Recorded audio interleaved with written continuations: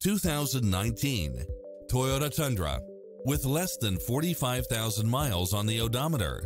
This pickup truck offers two full rows of seating for premium comfort.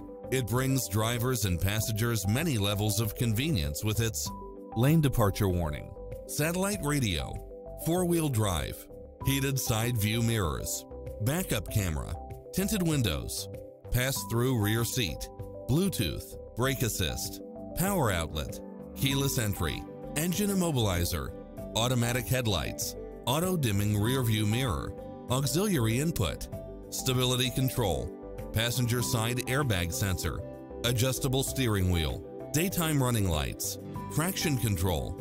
Stop by the showroom for a test drive.